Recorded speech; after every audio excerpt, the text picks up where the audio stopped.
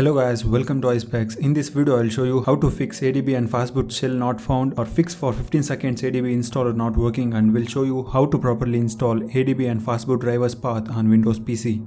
So before getting started, subscribe to this channel. Now if you have done that, let's get started.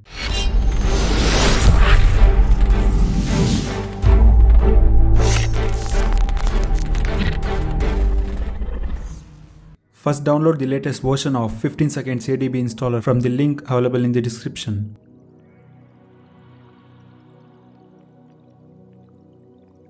Extract the zip file and here you will see .exe file with Android logo. Right click on it and extract it.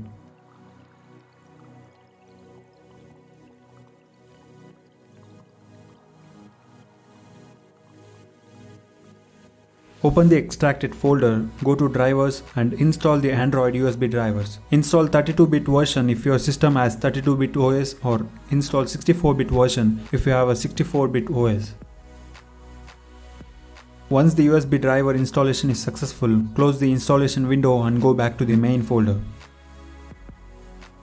Here copy ADB folder, go to C drive and paste it.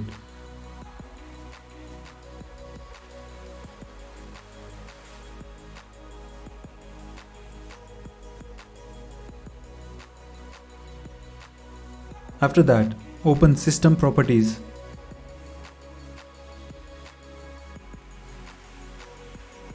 Click on Advanced System Settings and go to Environmental Variables.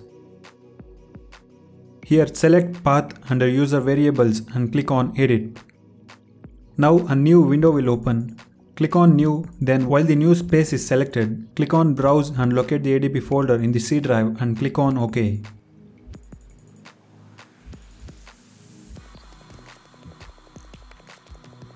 That's it.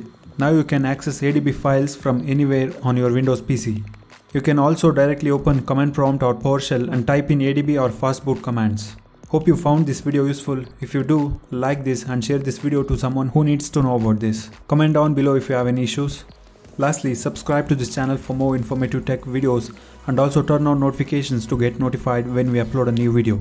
Thanks a lot for watching iSpecss. Have a great day.